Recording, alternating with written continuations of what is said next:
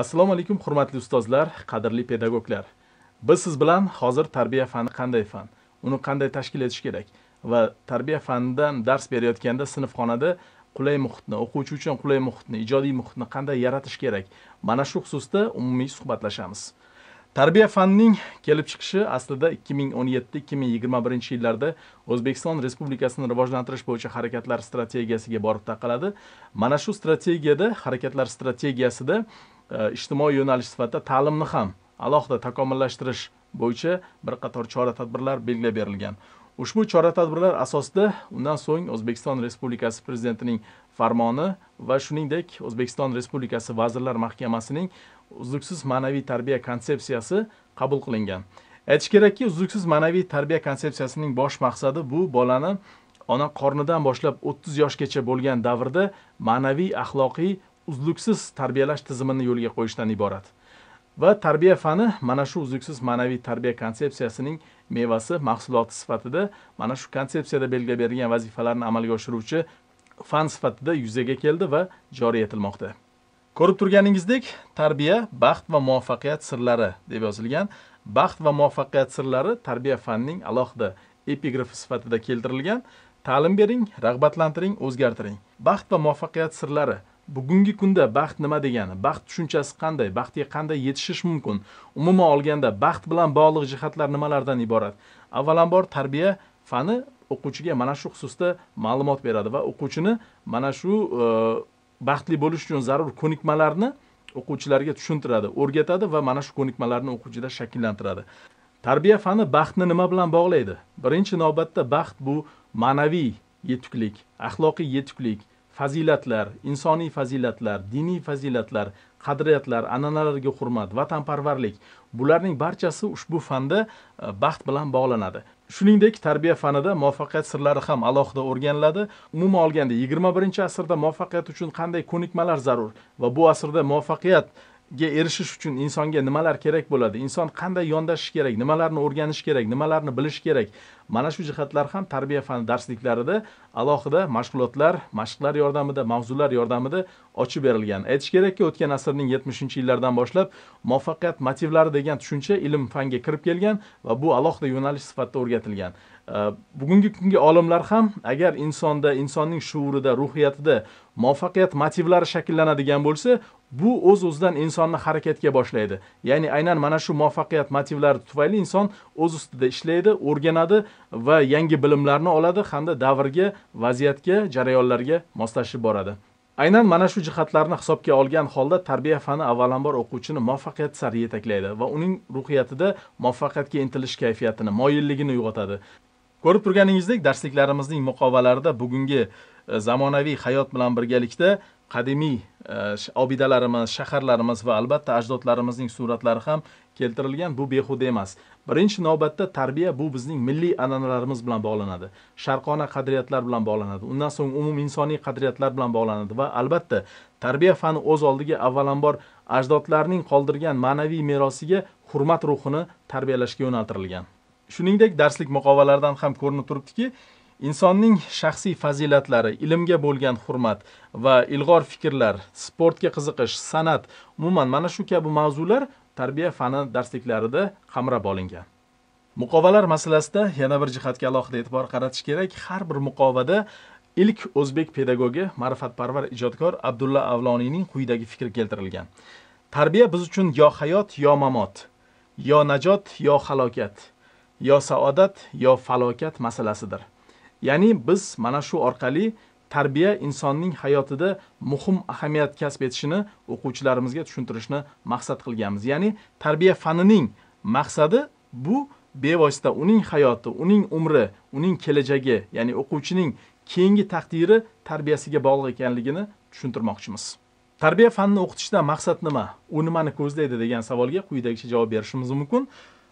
Tarbiya fani o'quvchilarni muvaffaqiyatli ijtimoiy hayotga tayyorlaydi.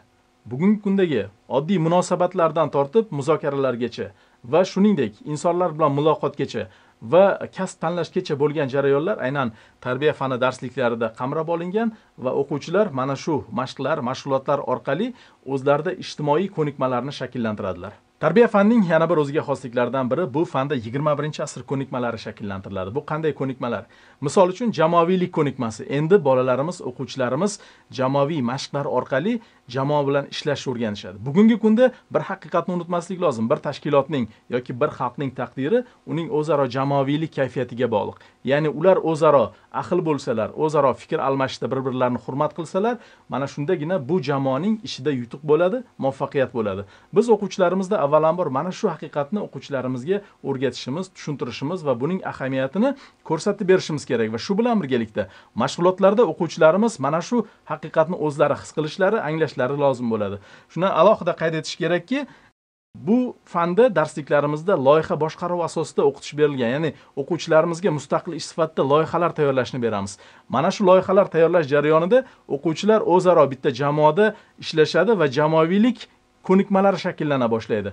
Shu bilan birgalikda hamkorlik muloqot qilish fikrini bayon etish insonlar bilan aloqalar hissiy aql tanqidiy fikrlash kabi yana bir qator ko'nikmalarni o'quvchilar mashqlar mashg'ulotlar orqali anglaydilar tushunadilar va mana shu e, ko'nikmalar ularda shakllana boshlaydi. O'quvchilarda ma'naviy axloqiy fazilatlarni shakllantirish tarbiya fanining birlamchi maqsadlaridan biri hisoblanadi.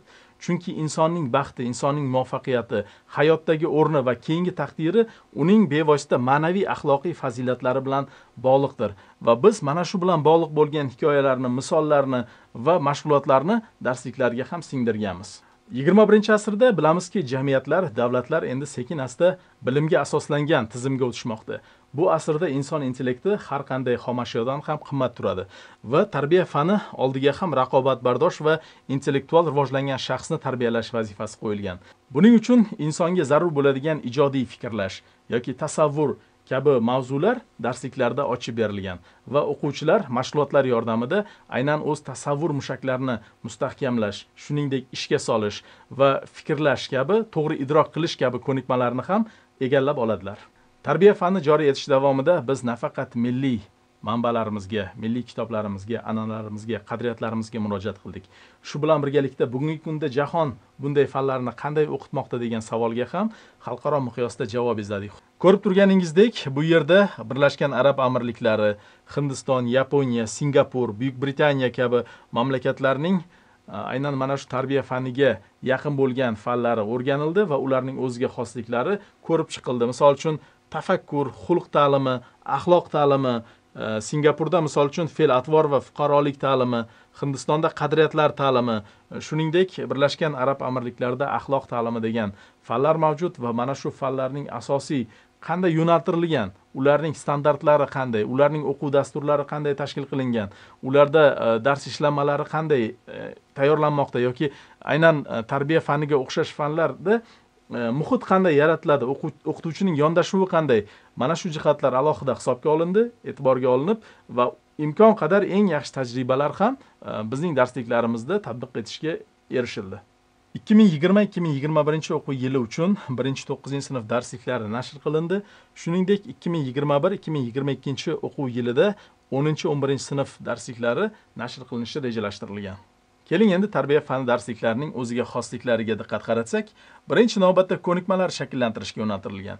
Ya'ni endi unda nazariy bilimlardan qochamiz. Ko'proq o'quvchiga navbat berish kerak o'quvchi ko'proq shug'ullanish kerak va mustaqil faoliyat ko'rsatish kerak. Sinfxonada o'quvchi ko'proq e, faol bo'lishi kerak va mana shu orqali mashg'ulotlarda mashqlarda o'quvchi fikr bildirish orqali o'quvchida ko'nikmalar shakllanadi. Ikkinchidan ushbu darsliklar amaliyotga yo'naltirilgan. Darsliklardagi mavzularga diqqat qaratadigan bo'lsak ular ko'proq real hayot bilan bog'liq. Ya'ni o'quvchi hayotda duch keladigan va bugun duch kelayotgan va kelajakda duch keladigan muammolarga bevosita mana shu darslikda e, guvoh bo'ladi va u darslikdan o'rganib ertaga hayotda ham duch kelganda qanday qaror qabul qilish kerakligini bevosita biladi his qiladi. O'quvchida to'g'ri qaror qabul qilish ko'nikmasi shakllanadi. Uchinchidan o'quvchini mustaqil faoliyatga undaydi. Ya'ni endi ko'proq o'qituvchi emas o'quvchi o'z ustida ishlay boshlaydi. O'quvchiga mustaqil faoliyat uchun e, mashg'ulotlar mashqlar beriladi va o'quvchi savollarga nafaqat darslikdan shu bilan birgalikda real hayotdan ham javob izlay boshlaydi. Shuningdek tarbiya fani darsliklari jarayonida o'quvchida endi tadbirkorlik va muvaffaqiyatga intilish motivlari rivojlanadi. Ya'ni o'quvchi tadbirkor kim u qanday bo'lishi kerak degan savollarga javob izlay boshlaydi. Va o'quvchiga misol uchun tadbirkor avvalambor rostgo'y bo'lishi kerak halol bo'lishi kerak ekanligi ta'kidlanadi. Shuningdek u yerda tadbirkorlar hayoti ham yoritib berilgan va mana shu tadbirkorlar hayotini o'rganish jarayonida o'quvchi ilg'or fikr nima ilg'or g'oyani qanday ilgari surish kerak uni qanday hayotga tatbiq etish mumkin kabi savollarga javob topadi. Shuningdek yana bir jihatga alohida e'tibor qaratishimiz kerak. Ushbu e, fanlarda nafaqat tadbirkorlik balki o'quvchi boshqa kasblarga ham yo'naltiriladi. Ya'ni o'quvchi endi o'zidagi qobiliyatni anglay boshlaydi. Shunday mashqlar mashg'ulotlar bor. O'quvchi bevosita o'sha mashqlarni bajarish jarayonida o'zidagi ruhiyatidagi bo'shliqni ruhiyatidagi o'ziga xoslikni ya'ni qobiliyatlarni anglay boshlaydi. Va mana shu qobiliyatlarni anglagandan so'ng biz o'quvchilarga navbatdagi mashqlarni beramiz. U mashqlar o'quvchini kasbga yo'naltiradi. Ya'ni sen nimada qobiliyatlisan va ertaga bu qobiliyating bilan qayerda muvaffaqiyat qozonishing mumkin degan savolga biz darsliklarimizda o'quvchiga javob topib beramiz va o'quvchi mana shu javoblar orqali o'zini kashf qiladi o'zini kuchli jihatlari bilan tanishib boradi. Shuningdek tarbiya fani o'quvchiga baxt uning vatanida ekanligi vatanparvarlik inson taqdiri inson baxti inson muvaffaqiyati bilan bevosita bog'liq ekanligini anglatadi. Biz o'quvchilarimizda avvalambor faol fuqarolik pozitsiyasini shakllantirishga harakat qilishimiz kerak ya'ni ya'ni fuqaro faol bo'lsa fuqaro e'tiborli bo'lsa fuqaro boshqalarga xayrixoh va g'amxo'r bo'lsa bu jamiyatning osoyishtaligi jamiyatning rivoji uchun bevosita asos ekanligi mana shu fan orqali ta'kidlanadi. Faol fuqarolik pozitsiyasi o'quvchining tabiatga resurslarga nisbatan munosabati bilan ham bog'lanadi va mana shu e, munosabat orqali endi o'quvchi o'quvchining tabiatga munosabati o'zgaradi va u nafaqat tabiiy resurslarni balki o'zidagi resurslarni misol uchun vaqtini ham to'g'ri taqsimlashga tejashga harakat qiladi. Shu bilan birgalikda tarbiya fanida o'quvchilarda tanqidiy fikrlash ko'nikmasi rivojlanadi. Tanqidiy fikrlash ko'nikmasi bu qanday ko'nikma? Endi siz o'qituvchi ustoz sifatida internet orqali kutubxonalardan mana shu kabi savollarga javob topishingiz kerak bo'ladi. Tanqidiy fikrlash ko'nikmasi insonga ko'proq o'zimiz ko'proq savol berib mana shu savollarga javob izlash va topilgan javoblar orqali muvaffaqiyatga urinib ko'rishga o'quvchini undaydi. Tanqidiy fikrlashga juda ko'plab misollar fikrlarni keltirish mumkin va bu yo'nalishda o'quvchini aynan o'quvchida ko'nikmalarni ham rivojlantirishga biz diqqat qilishimiz kerak. Misol uchun gyotening shunday fikri bor. Qiziqqan yaxshi bilgan undan yaxshiroq. Lekin undan ham yaxshisi bu urinib ko'rishdir. Ya'ni inson o'zidagi bilimlarini o'zidagi e, savollarga topilayotgan javoblarni bevosita endi hayotda ham tadbiq etib hayotda ham ularga javob izlashga harakat qilish kerak. Shuningdek tarbiya fanida pul topish liderlik ko'nikmalarini shakllantirishga ham alohida diqqat qilingan va e, o'qituvchi ustoz sifatida bir jihatga alohida e'tibor berish kerak. Siz e, jamoaviy mashqlar jarayonida aynan sinf xonasida deylik e, yigirma beshta o'ttizta o'quvchi bo'ladigan bo'lsa ularning orasidan ayrimlargina lider sifatida ajralib chiqishiga yo'l qo'ymasligingiz kerak. Ya'ni har bir insondagi o'ziga xos xususiyatni kashf qilishingiz kerak. Ya'ni muayyan insonlar emas balki o'sha guruhda imkon qadar sinfda ko'proq liderlar yetishib chiqishiga e, harakat qilishingiz lozim bo'ladi. Tarbiya fani darsliklarida ma'lumotlar turli shakllarda berilgan. Misol uchun Э, boshlang'ich sinflarda rasmli komiks ko'rinishida berilgan. Bunda bunday e, komikslarda o'quvchilar endi o'zlari hikoya tuzishlari kerak bo'ladi. Mana shu hikoyalarni tuzish jarayonida o'quvchida tanqidiy fikrlash ijodiy fikrlash kabi ko'nikmalar rivojlanadi. O'quvchida tasavvur rivojlanadi. Va o'quvchi mana shu jarayonda yozish ko'nikmalarini fikrini bayon qilish ko'nikmalarini ham rivojlantiradi. Shu bilan birgalikda mana e, ko'rib turganingizdek bu yerda o'quvchi amal qilishi kerak bo'lgan turli jarayonlar hayotdagi vaziyatlar suratlar ko'rinishida ham berilgan. Yuqori sinf darsliklarida o'quvchilarning yosh xususiyatlaridan kelib chiqib axborotlar infografika ko'rinishida berilgan. Bu esa mana shu axborotlarning mana shu o'ziga xos matnlarning fikrlarning bir umr o'quvchining xotirasida muhrlab qolishini ta'minlaydi. Birinchi sinfni bitirgan o'quvchi endi tarbiya fani ta'sirida o'z orzularini aniqlay oladi. Orzuni aniqlash nimaga olib keladi? Misol uchun shunday fikr bor. Orzularning eng chiroyli ekaniga ishonganlarga baxt albatta nasib qiladi. Ya'ni biz o'quvchilarni endi ko'proq orzu qilishga o'rgatishimiz kerak va bu orzuni maqsadga aylantirishni o'rgatishimiz kerak. Misollar yordamida mashqlar yordamida o'quvchilarga orzularni topishga va bu orzularni qanday qilib hayotda amalga oshirishlariga yordam berishimiz kerak. Mas'uliyatni anglaydi. O'quvchiga endi oiladagi mas'uliyat maktabdagi mas'uliyat va shu bilan birgalikda vatandagi mas'uliyat ham sekin asta singdirib boriladi. Odob me'yorlariga rioya qiladi hamkorlik qila oladi. Ikkinchi sinf o'quvchisi maqsad qo'ya oladi o'z oldiga va mas'uliyatni anglaydi. Muomala odobiga amal qiladi tirishqoqlikni namoyon qiladi takliflarni ifodalay oladi o'z xatti harakatlarini baholaydi yaxshi odatlarga amal qiladi. Uchinchi sinf o'quvchisi mana shu tarbiya fanini o'qigandan so'ng uchinchi sinf bitirgandan so'ng maqsadlarni amalga oshirishga harakat qiladi. Ya'ni ketma ketlikni ko'rib turibsiz. Orzu qiladi endi maqsad qo'ya oladi va uchinchi sinfda o'z maqsadlarini amalga oshirishga intila boshlaydi. Oila va jamoadoshlari oldidagi o'zining mas'uliyatini anglaydi. Ya'ni bu bevosita jamoadagi oiladagi o'zini tutish mana shu jamoaviylik oiladagi e, o'z o'rnini bilishga olib keladi. Oila va jamoadoshlari oldidagi o'zining mas'uliyatini anglaydi. Ya'ni oilada qanday tutish kerak o'zini jamoada qanday tutish kerak o'zini bularni barchasini anglay boshlaydi. Shuningdek kommunikativlik sifatlariga ega bo'ladi. Ya'ni unda muloqot qilish ko'nikmasi rivojlanadi. Insonni qanday tinglash mumkin suhbatdoshni qanday tinglash kerak va suhbatdoshga qanday munosabat bildirish kerak? Mana shu kabi ko'nikmalar bolada rivojlana boshlaydi. Shuningdek tashqi ko'rinish etikasiga amal qiladi. Misol uchun kiyinish yoki turli tadbirlarga qanday qilib qaysi kiyimlarda borish kerakligi ham mana shu e, mashg'ulotlar naqshlar orqali biz o'quvchilarimizga ma'lumotlarni berishimiz kerak. Insonni o'zini tutishdan tortib kiyinish va muomala madaniyatigacha shu uchinchi sinfda e, qamrab oladi. Shuningdek sabr qanoat shukronalik qat'iy irodali bo'lishga intiladi. To'rtinchi sinfni bitirgan o'quvchi tarbiya fani ta'sirida endi vatan haqidagi tushunchalarni kengaytiradi. Shuningdek hayotiy maqsadlari shakllana boshlaydi. To'g'ri harakatlarni qo'llab quvvatlaydi jamoada ishlay oladi. Hamkorlik qila oladi. Etika qoidalariga amal qiladi. Beshinchi sinfni bitirgan o'quvchi shaxs sifatida o'zini anglaydi xatti harakatlarni tahlil qila oladi favqulodda vaziyatlarda to'g'ri harakat qilishni biladi. Ya'ni endi o'quvchi o'zining faoliyatini tahlil qila oladi. Misol uchun oltinchi sinfda o'z faoliyatini tahlil qilish baholash kabi ko'nikmalar rivojlana boshlaydi. Shuningdek bu sinfni tamomlayotganda o'quvchida o'zini o'zi rivojlantirish o'z majburiyatini bajarish muloqotga kirishish hamkorlik qilish o'z o'ziga xizmat ko'rsatish kabi sifatlar o'quvchida rivojlana boshlaydi. Yettinchi sinfda o'quvchi bilimli bo'lish zarurligini anglaydi. Biz mashqlar mashg'ulotlar orqali o'quvchilarda bilim olish ko'nikmasini mustaqil bilim olish ko'nikmasini shakllantirishimiz kerak. Bunga qanday erishamiz? Ko'proq misollar yordamida mashqlar yordamida o'quvchida agar muvaffaqiyat motivi shakllanadigan bo'lsa o'quvchiga o'quvchida muvaffaqiyatga intilish moyilligi shakllanadigan bo'lsa u o'z ustida ishlay boshlaydi. U ko'proq ma'lumot qidiradi. Mustaqil ma'lumot qidirib mana shu axborotlardan o'zining keyingi taqdiri keyingi faoliyati uchun foydalanish ko'nikmalariga ega bo'ladi. Shuningdek yettinchi sinfda o'quvchida jismoniy va intellektual imkoniyatlar yanada rivojlanadi. Kreativ sifatlarini namoyon qila boshlaydi o'quvchilarimiz. Endi ular ijodiy fikrlab g'oyalarni ilgari sura boshlaydilar va mana shu g'oyalar uchun zarur bilimlarni egallashga intiladilar. O'quvchilar yettinchi sinfdan boshlab media madaniyatga ega bo'ladilar. Ya'ni internet tarmog'ida o'zlarini qanday tutishlari kerak?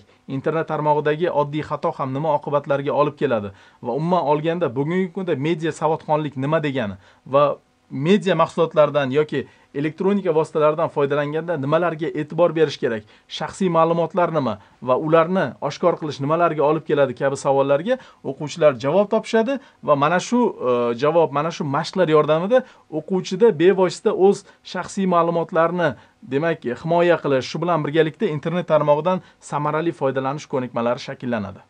Tarbiya fanining yana bir o'ziga xosliklaridan biri shundaki o'quvchiga birinchi sinfdan boshlab sog'lom turmush tarzi nimaligi haqida ma'lumot beriladi va o'quvchi to'g'ri yashashga sog'lom hayot kechirishga turmush kechirishga yo'naltiriladi. Va o'quvchida bevosita sakkizinchi sinfga kelgandan so'ng o'quvchida sog'lom turmush tarziga rioya qilish ko'nikmalari yuzaga chiqa boshlaydi. Shuningdek xulq atvor normalariga umuminsoniy va milliy madaniyatga rioya qiladi o'quvchilarimiz. Va o'quvchilarda faol fuqarolik pozitsiyasi namoyon bo'la boshlaydi. Nafaqat mahalliy miqyosda balki xalqaro miqyosdagi faol fuqarolik tushunchalarini va harakatlarini anglay boshlaydi. Qadrli pedagoglar hurmatli ustozlar shuni alohida qayd etish kerakki tarbiya fani darsliklarida bir qator yangi mavzular mavjud. Misol uchun to'qqizinchi sinf darsligida avvalgi darslik bilan solishtirganda yigirma uchta yangi mavzu kiritilgan. Bu o'sha hissiy aql tanqidiy fikrlash tasavvur va bir qator yangi yangi mavzular E, o'quvchilarga aynan yigirma birinchi asr ko'nikmalarini shakllanishiga yordam beradi. To'qqizinchi sinf bitiruvchisi natijada qanday sifatlarga ega bo'ladi? To'g'ri qaror qabul qiladi.